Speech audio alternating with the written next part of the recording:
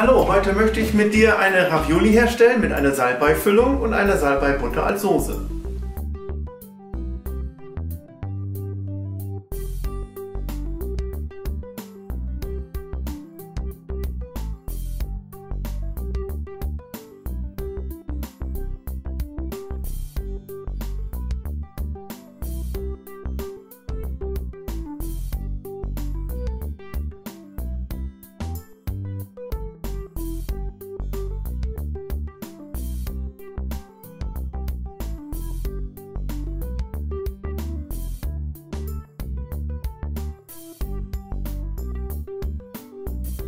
Für den Ravioli-Teig brauchen wir 300 Gramm Mehl und 200 Milliliter Wasser.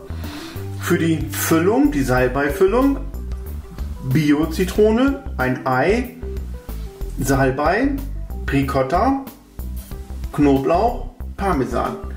Für, die, für das Öl hinterher brauchen wir Olivenöl, Butter, Salbei.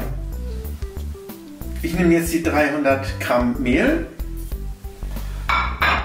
fülle 200 Milliliter Wasser dazu und fange jetzt an, das zu mischen und zu kneten. Falls der Teig noch zu feucht ist, ruhig immer wieder ein bisschen Mehl dazu. Er muss sehr trocken sein. Jetzt müssen wir es so lange kneten, bis es eine schöne homogene Masse wird. Das dauert ungefähr 10 Minuten. Jetzt haben wir den Teig so ungefähr 10 Minuten geknetet. Jetzt sieht man, dass er eine schöne Masse geworden ist. Jetzt packe ich den in eine Frischhaltefolie. Dann kommt er eine Stunde in den Kühlschrank. In der Zeit haben wir dann die Zeit, die Füllung zu machen und die Soße vorzubereiten. Bis gleich. Ich bereite jetzt den Parmesan vor, dass ich ihn gleich reiben kann. Den Rand schneide ich ab und tue ihn weg. Mit der alten Parmesanreibe kann man den Parmesan schön klein reiben. Die Bio-Zitrone, da reißen wir jetzt die Zesten runter, die Außenhaut. Mit diesem Zestenreißer. Funktioniert hervorragend, wenn man das sieht. Und anschließend hacke ich diese Zesten klein, um sie in der Soße zu verwenden. Jetzt hacken wir den Salbei klein für die Füllung.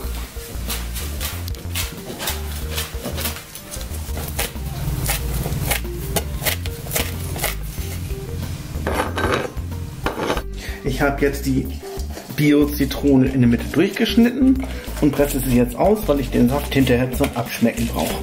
Den anderen Saft bewahre ich mir auf und benutze ihn für andere Essen. Als kleine, ja, wie soll man sagen, Nebensache mit der Zitrone, ich packe sie gerne mit in die Spülmaschine rein. Dann riecht die Spülmaschine frisch und ordentlich. Wir fangen jetzt an, die Füllung fertig zu machen. Wir nehmen das Ricotta,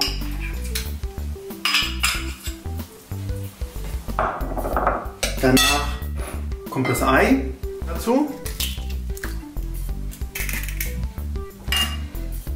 Dann die Zesten, ein Großteil. Der Salbei, der fein gehackte.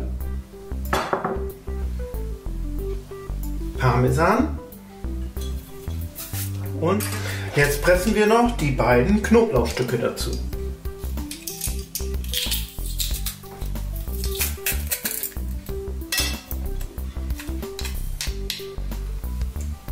Wir vermischen das Ganze.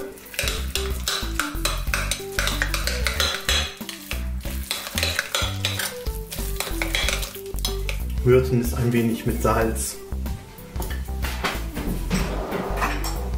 und Pfeffer.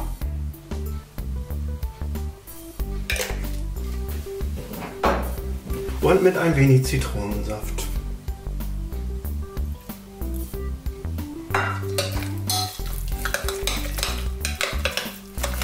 Mischen es wieder. Das muss schon ein bisschen Geschmack haben.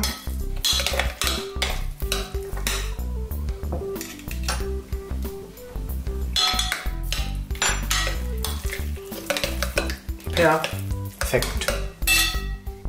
Dies ist jetzt der Teig aus dem Kühlschrank, der eine Stunde gegangen ist. Dann habe ich hier die Nudelmaschine.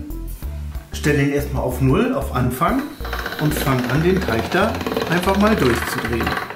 Mache das Ganze dann auch zwei Stufenweise dünner. Jetzt auf die Stufe 6.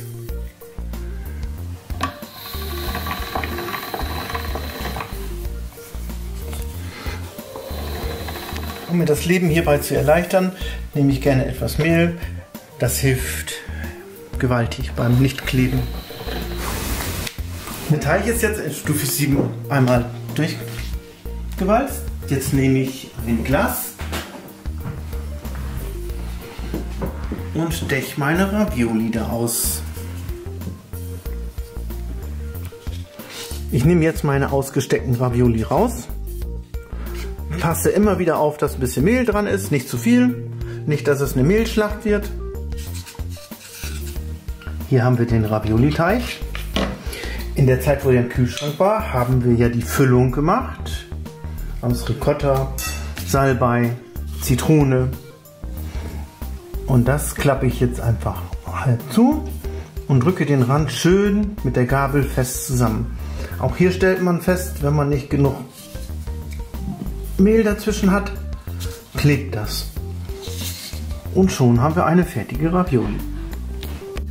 Und in der Zeit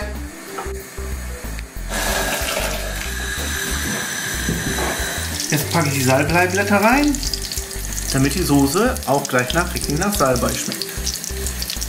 Und man auch die Salbeiblätter schön frittiert essen kann.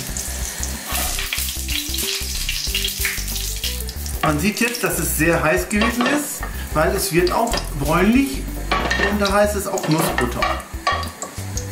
Hier sind jetzt die Salbeiblätter. Und jetzt fange ich an mit der Schöpfkelle die Nudeln ins kochende Wasser zu tun. Da kommen sie vier Minuten rein und dann sind sie gar und wir können anrichten.